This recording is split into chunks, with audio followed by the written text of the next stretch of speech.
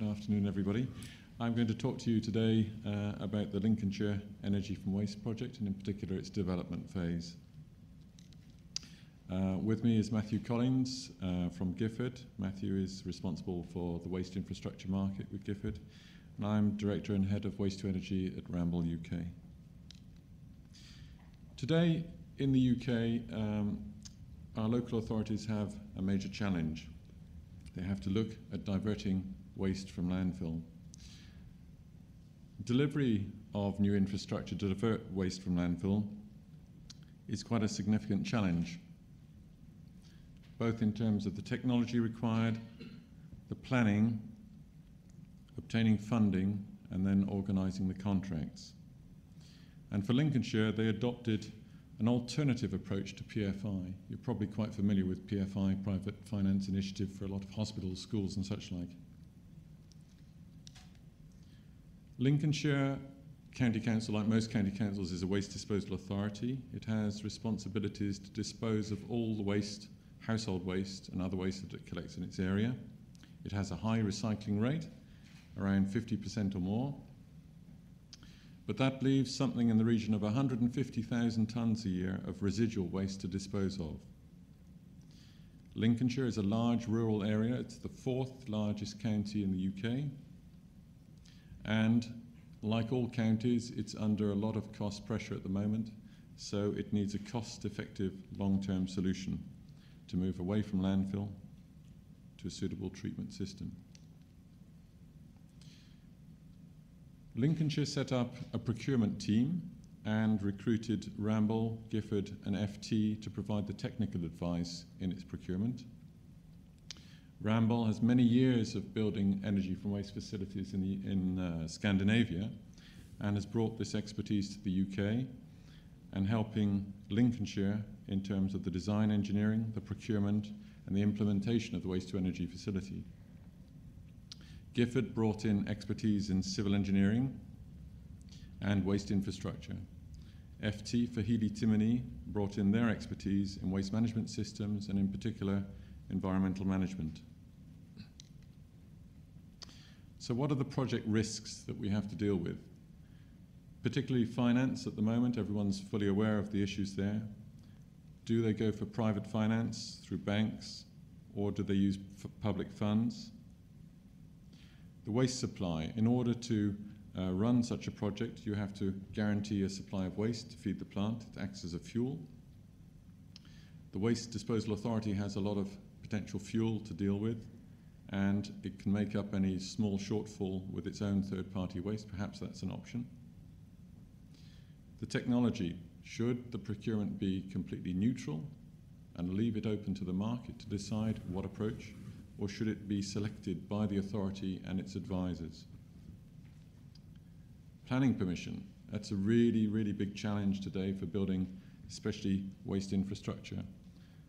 There's a lot of NIMBYism banana, build absolutely nothing anywhere near anyone.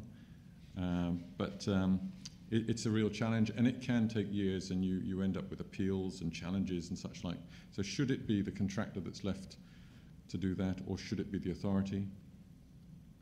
What about the site, where to put it? Do you leave it for the contractor to find a site? There's probably a limited number of sites in the area. Will there be a bit of a bun fight over bidders for the contract to find the best site? So why not let the authority procure the site and supply that to the bidders to use? So the choices were made. Principally, the authority decided it could de risk this project to some extent and then encourage good quality bids. So the first move was to look at the technology and select the technology that would suit its purpose. And it chose with our advice, moving grate technology which is well proven. We set out bespoke performance specifications, clear method statements for bidders to put forward, and we required robust guarantees and testing before the facility would be accepted by the authority. In terms of planning, the Council secured planning permission. It went through the whole process of developing the design around the project and submitting the planning. Finance, it decided to go down the route of financing itself using prudential borrowing where necessary. and to pay for the construction through a milestone system. And then it would just be uh, left with providing or paying the contractor operating the plant operating fees without the normal PFI approach of operating fees plus debt servicing costs. The form of contract was a DBO, a design, build, and operate contract based on SOPC4, which is the PFI form of contract backed by performance bonds and company guarantees. And that form of contract de risks the, the works and the services from the council's perspective. Now, the process itself, if I walk you through from left to right, waste is delivered in a bunker here by refuse truck or bulk vehicle. It's mixed by a crane to make it a homogeneous mix and then loaded into a feed chute here. It descends the chute and is indexed onto a grate, which is a, a sliding action grate. The waste is combusted on the grate, and just to give you an idea, the calorific value of waste is something in the order of a third of that of coal, so it will self ignite, it doesn't need auxiliary fuel. The hot gas is passed through the boiler, and the heat is recovered in the radiant sections of the boiler into the evaporator and superheater sections through here, and collected as steam in a steam drum at the top of the boiler. The steam then passes to a turbine. The turbine is used to drive a generator, which allows electricity to be exported from the site. The turbine also has a bleed for providing heat, district heating, which can also go to local buildings and industry. As the gases pass through the boiler, uh, the combustion of municipal waste generates an acidic gas with a number of pollutants. So it passes into a flue gas treatment system here where the gases are neutralized and the residues are collected, the air pollution control residues are collected in a silo here and taken off for recycling or disposal. There are also burnt out ash, the bottom ash here is collected and that can be used as a secondary aggregate. To give you some indication of uh, the layout, Ramboll and its partners developed uh, the design for the facility and laid out uh, the plant in such a way that most technologies could fit in there of the given size. We worked with Studio E architects to do the design.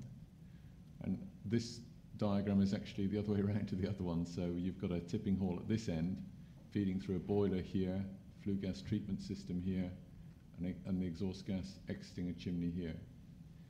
This is an air-cooled condenser, so that steam, after it's passed through the turbine, is condensed back and, and flows back through to the boiler. So looking a little bit more at the technology, this is this particular plant has a reverse acting grate, so the waste is indexed down, and as the grate uh, operates, it, the, the grate bars work in a backward direction here, rotating the waste to ensure complete combustion. And to give you an idea of the efficiency, the combustion efficiency is around, typically around 99%. You get less than 1% unburnt carbon in the bottom ash here. And anybody who has a, a wood burning stove or whatever like that at, at home, wood burning fire, will know that you, if you open the grate at the bottom, that's how you, you make the fire burn. And here we have primary air which feeds the bottom of the grate. But we also have secondary air injection which controls the combustion and the, the generation of heat. During the combustion, the hot gases pass up through here, and the regulations say that we have to achieve 850 degrees C here for two seconds. The flue gas treatment system comprises of exhaust gas running through a duct in the duct, we introduce lime to neutralize the acid gas, and activated carbon, which acts as an adsorbent to capture heavy metals. The dust is then collected in the baghouse filter and feeds through to ash silos, and the clean gas then provides goes through an ID fan and out of the stack. The recirculation silo there is to ensure that we don't simply throw spent lime away, we can reuse it again and dose a small percentage of additional material here. That's another picture showing some images of the flue gas treatment system.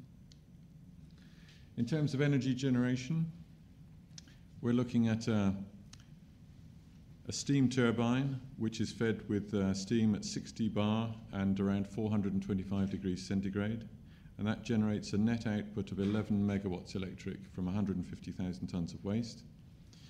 Around 2 megawatts is used to run the plant itself, so it's self propelled and a net exporter of energy. There is also controlled extraction for district heating to local industry.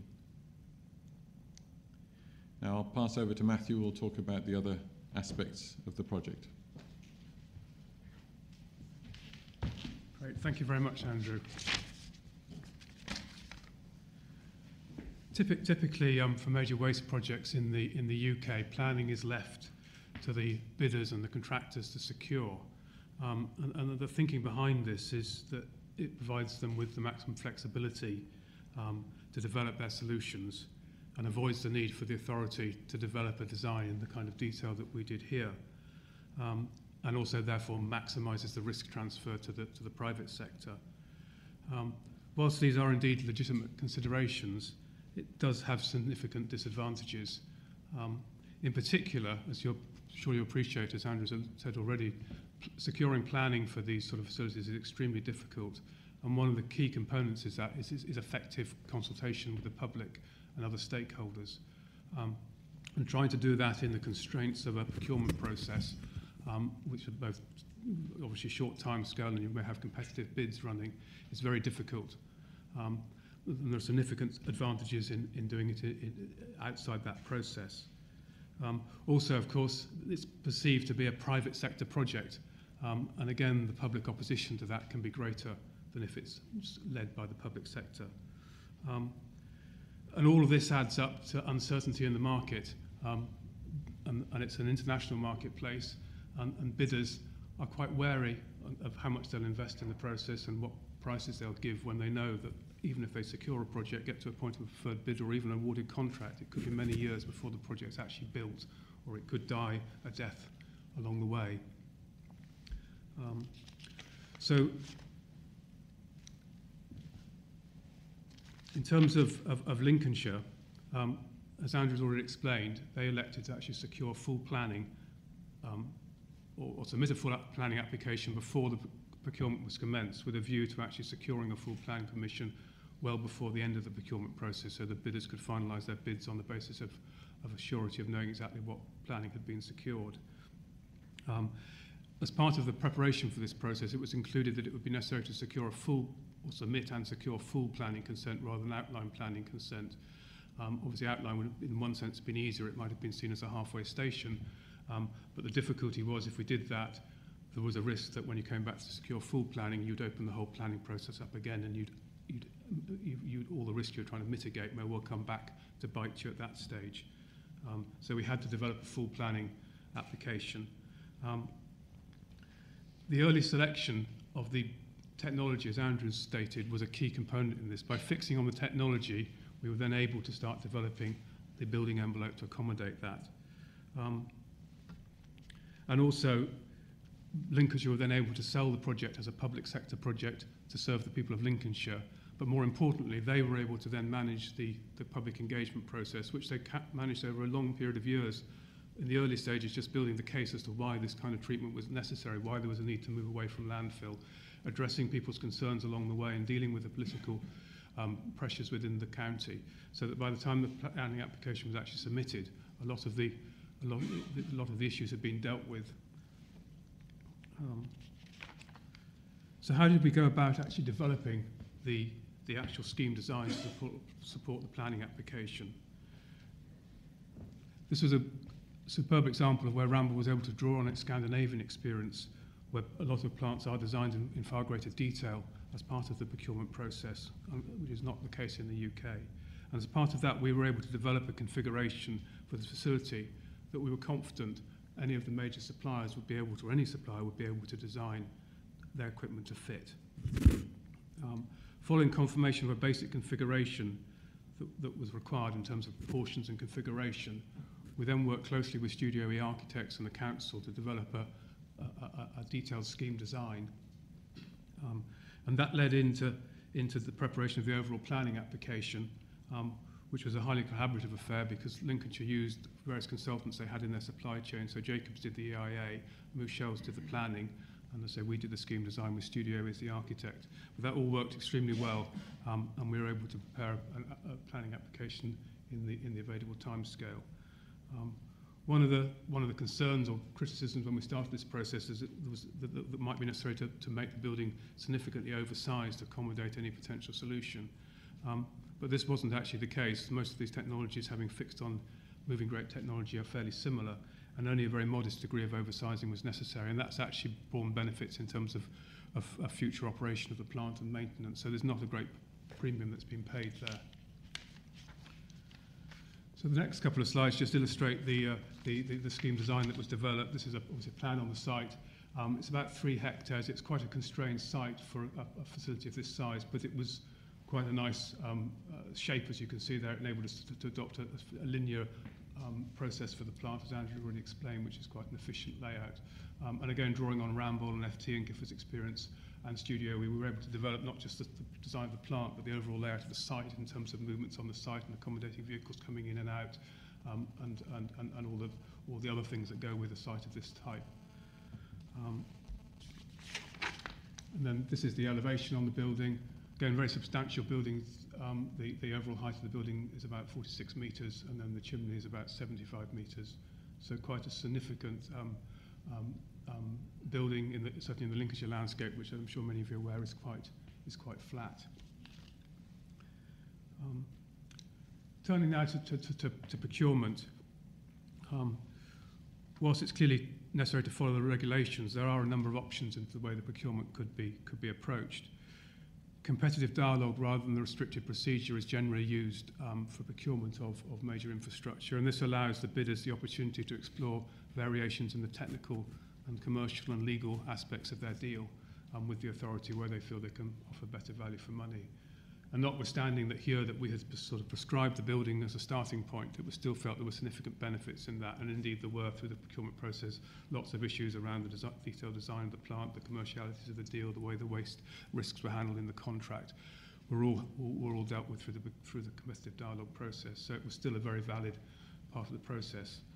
Um, the, the, the, the SOPC4 contract format was designed for PFI, but it has a big advantage in being well understood by the industry, and it was adopted as the basis for the contract in this case. Um, there are two fundamental types of, of sort of contract were available. One was to go for a design, build, finance and operate contract. That could have either been with PFI or without PFI funding, um, in which case it's more of a sort of PPP kind of project, but the, the principles would be very similar, although the authority wouldn't get the benefit of PFI credits. Or alternatively, they could go for a design, build and operate contract um, under which the authority would actually fund the construction cost of the project. Um, in other respects, the contract could be the same as a, a, or very similar to a, a, PFI type of contract with design and build at, say, a 25-year operational period, all as part of the, the, the, the single contract. So that the contractor building it has the incentive to make sure he builds it well because he's got to operate it and live with the operational costs um, so that all that risk is wrapped up in one, in one contract. But clearly the, the construction cost is paid up front. Um, and, and in many cases, that, that, that capital cost can be partly supported by a, a loan from the Public Works Loans Board, which I saw was mentioned in another guise in an earlier presentation dating back to the 1800s, I think. So that's clearly a principle that's been around a long time.